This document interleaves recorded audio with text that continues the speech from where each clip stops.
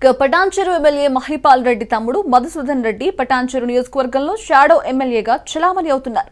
తమ భూములను లాక్కోవాలని చూస్తున్నారని బాధితులు ఆవేదన వ్యక్తం చేస్తున్నారు. పోలీసులకు ఫిర్యాదు చేసినా కోర్టులో తీర్పు వచ్చినా కూడా ఇంకా తమను వేధిస్తూనే ఉన్నారని బాధితులు ఆవేదన వ్యక్తం చేస్తున్నారు. మధుసూదన్ రెడ్డి బెదిరింపులకు సంబంధించి మరింత సమాచారం మా ప్రతినిధి నవత అందిస్తారు పటాన్ చెరువు ఎమ్మెల్యే మహిపాల్ రెడ్డి.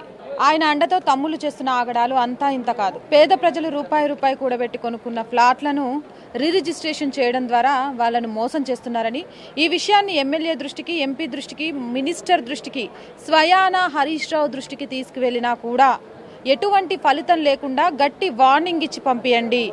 మనకు ఎదురు తిరుగుతూ ఇంకొకళ్ళు ఇలా ఎవరిని ఆశ్రయించకూడదు అంటూ బెదిరింపులకు తిరుగుతూ వాళ్ళ భూములను ఎంతకో కొంతకు కొనే ప్రయత్నం చేయడం కొనకపోతే బెదిరించడం ఇలా చాలా జరుగుతున్నాయంటే ఒక బాధితుడైతే మొత్తానికి రాజ్ న్యూస్ని ఆశ్రయించాడు. ఆయనకి ఏం మోసం జరిగింది అనేది ఆయన అడిగే తెలుసుకుందాం. చెప్పండి అసలు ఏమైంది మీకు? మీ ల్యాండ్ ఇంకొకళ్ళ పేరు మీద ఎలా రిజిస్ట్రేషన్ అయింది? మేడం మాకు రెండు వేల పదమూడులో రిజిస్ట్రేషన్ చేసిన ఆల్రెడీ చేసిన ల్యాండ్ని మాకు మళ్ళీ రిజిస్ట్రేషన్ చేసినాడు. అక్కడికి వెళ్తే హద్దురాలు తీసేసినారు. హద్దురాలు తీసేసి వేరే అతను నాకు ఆల్రెడీ అమ్మేసినారని చెప్పేసి నాకు జీపీఐ చేసినారని చెప్పేసి అన్నారు. తర్వాత మధుసూన్ రెడ్డి గారిని పోయి రిక్వెస్ట్ చేసినాను. రిక్వెస్ట్ చేస్తే నీకు వేరే ప్లాట్ ఇస్తానని చెప్పేసి అన్నాడు. ఎవరా మధుసూదన్ రెడ్డి? మైపాల్ రెడ్డి ఎమ్మెల్యే గారి తమ్ముడు. వేరే ప్లాట్ ఇస్తానని చెప్పేసి అన్నాడు. అట్లనే బఫర్ చేసుకుంటా అలా చేస్తానే ఉన్నాడు. తర్వాత రెండు ప్లాట్లు వేరే దగ్గర చూపించినాడు అవి లిటిగేషన్స్ ఉన్నాయి. దాని తర్వాత పోలీస్ స్టేషన్కి వెళ్ళినాను. పెద్దవాళ్ళతో ఎందుకు ఏదో ఇచ్చేస్తాడులే అని చెప్పేసి అన్నారు. సరే అని చెప్పేసి ఊరుకున్నా. ఒక వన్ ఇయర్ తర్వాత మళ్ళీ మినిస్టర్ హరీష్ రావు గారి దగ్గరికి వెళ్ళినాను. హరీష్ రావు గారి దగ్గరికి వెళ్తే మళ్ళీ మా కొత్త ప్రభాకర్ రెడ్డి ఎంపీ గారి దగ్గరికి పంపించినారు. ఆయన మళ్ళీ ఎమ్మెల్యే ఎమ్మెల్యే గారి దగ్గరికి పంపించినారు. ఈయన కొంచెం వల్గర్గా మాట్లాడితే నాకు కొంచెం మనసు బాగా అనిపించలేదు కొంచెం వల్గర్గానే మాట్లాడినాడు మేడం. అది మాకు కొంచెం బాగా అనిపించలేదు ఎందుకని చెప్పేసి ఇక మాకు ఎవరికి దాన్ని చెప్- చెప్పలేకపోతున్నాం. ఎక్కడ న్యాయం జరగలేదు మాకు. ల్యాండ్ మీద ఆశ వదులుకున్నారా? మొత్తానికైతే వదులుకున్నాం. ఇది ఒక ఇప్పుడు ఏదైనా న్యాయం జరుగుతుందేమో అని నన్ను సార్ ఒక ఛాలెంజ్ చేసినాడు. మరి ఆ ఛాలెంజ్కి ఏమైనా కట్టుబడి ఉండి కనీసం ఏమైనా మారైనా కనీసం ఇస్తాడేమో అనే ఉద్దేశంలో నేను మీరంటే ఎంత కొన్నారండి ఏడు సంవత్సరాల క్రితం ఆ ల్యాండ్ని మాకు మూడు ప్లాట్లు కలిపి ఇరవై లక్షలు అయింది మేడం. ఇప్పుడు ఎంత ఉండొచ్చు దాని వాల్యూ ఇప్పుడు ఒక్కొక్క ప్లాట్ అరవై లక్షలు అయింది. ఇలా ఇప్పటి వరకు మీకు తెలిసినంతలో ఈ పటాన్చర్ నియోజకవర్గంలో ఎంతమందికి ఇట్లా దొంగ లెక్కల ప్రకారం ఎమ్మెల్యే తమ్ముడు ప్లాట్లు అమ్మి ఉండొచ్చు కొంతమంది ముందుకు రావట్లేదు మేడం. మాది మిడిల్ క్లాస్ ఫ్యామిలీ.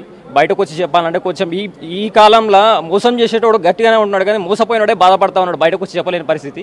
అది కొంతమంది చెప్పలేకపోతున్నారు బయటకు వచ్చి వచ్చినా కానీ మా చిన్న వ్యాపారాలు చేసుకుంటాము. ఏదో ఒక పవర్ యూజ్ చేసి వ్యాపారాలకి ఇబ్బంది పెడతా ఉంటారు. అందుకే చెప్పలేని పరిస్థితి. ఎక్స్పెక్ట్ చేశారా ఒక ఎమ్మెల్యే తమ్ముడు ఇలా మోసం చేస్తాడు అని ఎప్పుడైనా అనుకున్నారా? లేదు మేడం. ఎమ్మెల్యే తమ్ముడు కాబట్టి నమ్మొచ్చినాం మేము. తర్వాత మాకు చాలా ఇబ్బంది పెట్టినారు. న్యాయం ఎక్కడ జరగలేదు. మీరు ఏం కోరుకుంటారు? రాజ్ న్యూస్ ద్వారా ఎమ్మెల్యే మహిపాల్ రెడ్డిని కానీ వాళ్ళ తమ్ముడిని కానీ మీరు అడిగేది ఏంటి సార్కి ఇప్పుడన్నా మనసు మారి నా ప్లాట్ ఇస్తే బాగుంటుంది మేడం అంతకంటే ఏం లేదు. నా ప్లాట్ నాకు ఇస్తే సంతోషం అంతే. ఇక పటాన్ చెరువు నియోజకవర్గంలో ఒక్కరొక్కరుగా బాధితులు ఎమ్మెల్యే బాధితులు ఎమ్మెల్యే చేసిన సవాల్ని స్వీకరిస్తూ రాజ్ న్యూస్ని ఆశ్రయించడం జరిగింది. మరి సవాల్ని ఎదుర్కోవడానికి సిద్ధంగా ఉన్నారా ఎమ్మెల్యే గారు? మీరు చేసిన కబ్జాలు మీరు చేసిన మోసాలకు ప్రత్యక్ష సాక్షులం మేమే. మధ్యతరగతి వాళ్ళం. ఇప్పుడు మీరే వేశారు కాబట్టి సవాల్ బయటకు వస్తున్నాము. మరి మాకేం సమాధానం చెప్తారు? మాకు ఎందుకు ఇంత అన్యాయం చేశారు అంటూ కూడా ఒక్కొక్కరిగా వచ్చారు. క్యా హువా భయ ఆప్కా? మేరా నా బాబులాలే మే బీరంగూడ మేరతా मैं बिरमगोड़ा में रहता हूँ 181 सर्वे नंबर में वो 150 गज नूट याभई गजालो मैं खरीदा था। मेरी बीबी का गहना रख के गिरवी रख के लिया। उसके बाद में लॉकडाउन में सर्वे हुआ। सर्वे में मेरे को ही आया। उसके बाद में भी उन्हें ज़बरदस्ती कब्जा करके घर बना लिया और हमको नहीं दे रहा। हमारा सपोर्ट नहीं आ रहा है। कौन घर बनाया मधुसूदन रेड्डी। हाँ। हम्म। आप नहीं पूछा वो डॉक्यूमेंट्स मेरे के नाम पे? पूरा डॉक्यूमेंट मेरा नाम के है हम कोर्ट गए कोर्ट में केस डाला केस चल रहा है। उसके बाद में भी हमारा नहीं हमारा है तुम्हारा नहीं होता करके बोल रहा है। आप अभी राज न्यूज से क्या बोलता है महिपाल రెడ్డి की वही बोलता हमारा प्लॉट हमको दे दो చూస్తున్నాము పక్క రాష్ట్రాలు మనల్ని చూసి గర్వపడుతున్నాయని ముఖ్యమంత్రి చెప్తాడు కానీ మేము కబ్జాలు చేయడంలో మేము మోసాలు చేయడంలో తెలంగాణ ప్రజలే కాదు పక్క రాష్ట్ర ప్రజల్ని కూడా వదిలిపెట్టమని నిజంగా బాధితులు ఈరోజు ఆయన బాధపడుతుంటే ఏడుస్తుంటే నిజంగా కూడా చాలా బాధేస్తుంది వాళ్ళు బాధపడడానికి కారణం అవుతున్నారు అంటే ఇంతకంటే సాక్ష్యం ఏం కావాలి వాళ్ళ छोटा दुकान है हमारा किराना गांव का भूमि बेच के इधर ले इधर छोटा सा लिया बच्चों के लिए इधर सेफ्टी रहेगा करके उसमें भी हमारे को बहुत प्रॉब्लम हो रहा है గుణవత్కరో భయ్యా మైపాల్ రెడ్డి గారు మరి ఏం చెప్తారు ఇలా బ- ఆ, ఈ నియోజకవర్గంలో ప్రజలు కన్నీళ్లు పెట్టడానికి కారణం అవుతుంది అక్షరాల మీరు మీ తమ్ముడు భూమి కనిపిస్తే మీ తమ్ముడు వదిలిపెట్టట్లేడు మీ తమ్ముడిని కాపలా గాయటంలో మీరు సిద్ధహస్తంగా ఉండిపోయారు మంత్రులు కూడా మీ దగ్గర భయపడుతున్నారు మరి మంత్రుల వాటా ఎంతుంది ఎంతమంది ఇలాంటి పేద పేద ప్రజల కన్నీళ్ళకు ఇంకా కారణమవుతారు? అంటే పేపర్లో స్టేట్మెంట్ ఇచ్చేసి మళ్ళీ కనబడకుండా తిరిగే ఎమ్మెల్యేల జాబితాలో మీరు కూడా చేరుతున్నారా? కాదు నిజాన్ని నిరూపించుకునే ఎమ్మెల్యేగా ప్రజల మధ్యలోకి వస్తారా?